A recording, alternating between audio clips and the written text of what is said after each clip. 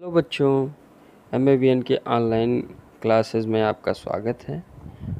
मैं अभिषेक मिश्रा आज कक्षा चार के हिंदी विषय में अध्याय तीन, वन देवी और राजा का सारांश पढ़ेंगे, ठीक है? हम आपको सारांश बताएँगे इस अध्याय का। आप लोग इस अध्याय को कम से कम दो से तीन बार पढ़िएगा। उसके बाद इस कहानी से हमें जो शिक्षा मिलती है उसके बारे में हम जानेंगे। ठीक है? क्योंकि हर कहानी से कोई ना कोई हमें सीख ज़रूर मिलती है। तो इस कहानी से हमें जो सीख मिलेगी हम जानते हैं। ठीक?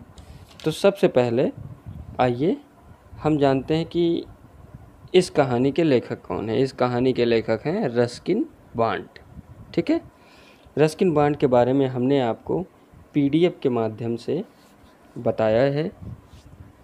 अब आइए हम इस कहानी के सारांश को देखते हैं। हिमालय की गोद में एक राजा रहते थे। उनका राज्य हिमालय की तलहटी में था। ठीक है? हिमालय पर्वत के घाटियों में। उन्होंने सोचा कि चलो भाई, एक ऐसा महल बनवाएँ जो केवल एक ही स्तंभ पर टिकाओ जिसका केवल एक ही पिलर हो। अब भाई, इतना बड़ा पिलर बनाने के लिए पहले तो गिट्टी, मोरंग सी ये सब चलते नहीं थे। पहले लकड़ियों से घर बनाते थे लोग। ठीक है? तो राजा ने सोचा कि चलो, पूरे हिमालय की पहाड़ियों में जो सबसे विशाल वृक्ष हो चीड़, बाँस, देवदार में से, और सबसे ऊँचा हो, ठीक है, सुगंधित हो और मज़बूत हो, वही जो है, उसी वृक्ष को काट के हम क्या करेंगे? एक बड़ा सा महल बनवाएँगे। अब भाई, देवदार जो होता है, वो, उसका अर्थ होता है देवताओं का वृक्ष। तो सबसे बड़ा वृक्ष मिला देवदार, ठीक है? अब राजा ने भाई प्रधानमंत्री को बुलाया, कहा, भाई, एक देवदार का पेड़ है, एक काम करो, उसको काट के लाओ, और अच्छा सा जो है, हम क्या बनाएँगे? महल बनवाएँगे, ठीक है? लेकिन राजा की एक बेटी थी राजकुमारी, वो कहती है, पिताजी, देवदार तो पवित्र वृक्ष है इससे सिर्फ़ मंदिर बनवाई जाती है, महल तो बनवाया नहीं जाता, ठीक है? तो राजा कहता है हाँ हमारा महल ऐसा रहेगा, किसी मंदिर से कम थोड़ी रहेगा, इसलिए उसमें देवदार की लकड़ियाँ लगेंगी। अब भाई, प्रधानमंत्री क्या किए? राजा की अनुमति लेके चल पड़े भाई पहाड़ों पे देवदार का वृक्ष काटने के लिए। ठीक है? अब वहाँ पहुँचे तो उस पेड़ को तो काट डालते, लेकिन काट के वहाँ से पहाड़ से ला, यहाँ पे लेके आने में उनको बड़ी तकलीफ़ होती। पहले के समय में क्रेन तो चलती नहीं थी, है कि नहीं? अब राजा ने जो है राजकुमार से कहा कि भाई, एक काम करो, घोड़े लेके जाओ, घोड़े से वृक्ष खिंचवा के लाओ। भाई, घोड़े जो है वो भी थक हार गए। फिर राजा ने कहा, हाथियों को लेके जाओ।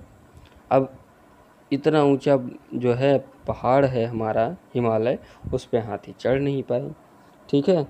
अब राजा ने कहा कि एक काम करो अब आसपास कहीं महल के आसपास कोई वृक्ष देखो,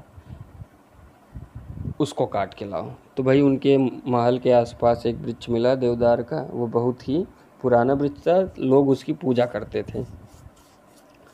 अब पूरे गाँव वाले परेशान हो गए कि भाई अब ये तो हमारा, ये हमारे वन देवी का जो है पेड़ है, हम इसकी पूजा करते हैं। अब कैसे होगा? ये तो काट डालेंगे। ठीक है? अब खूब जो है गीत वगैरह करके वन देवी को खुश करने की कोशिश करने लगे गाँववासी, ठीक है? फिर क्या हुआ? एक दिन क्या हुआ? राजा सो रहा था, राजा के सपने में आई वन देवी और उन्होंने कहा कि, भाई एक काम करो, मुझको काट रहे हो, लोग मेरी सदियों से पूजा करते आ रहे हैं।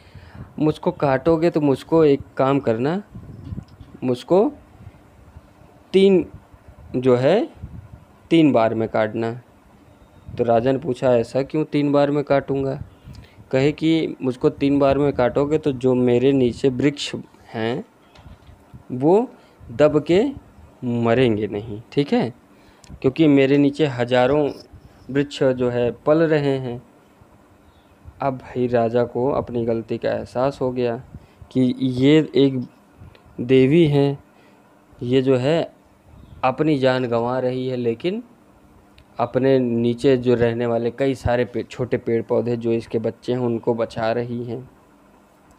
जब राजा को अपनी गलती का एहसास हुआ तो राजा ने कहा कि अब एक काम करो लकड़ी से घर बनाना बंद। अब पत्थरों से घर बनेगा और तभी से लोग पत्थरों से मकान बनाने लगे लकड़ी से मकान बनाना बंद कर दिया। ठीक है बच्चों? इस कहानी से यह शिक्षा मिली हमें कि हमें पेड़ पौधों की रक्षा करनी चाहिए। ठीक है? जब पेड़ नहीं रहेंगे तो ऑक्सीजन नहीं मिलेगी। ऑक्सीजन नहीं मिलेगी तो हम लोग जीवित नहीं रहेंगे। इसलिए हमें पेड़ ज़रूर से ज़रूर लगाने चाहिए। हर बरसात के सीज़न में क्या करें? हम कोई ना कोई वृक्षारोपण करें। ठीक है? ये कहानी यहीं पे समाप्त होती है। अब बच्चों, आप लोग क्या करिएगा? शब्दार्थ को कापी में लिख लीजिएगा, एक तरफ़ शब्द, दूसरी तरफ़ उसका अर्थ, ठीक? उसको लिखकर याद करिएगा। बाकी इसके जो है, प्रश्न, उत्तर और, रिक्त स्थान, सही विकल्प, ये सब हम आपको पीडीएफ के माध्यम से उपलब्ध कराएँगे।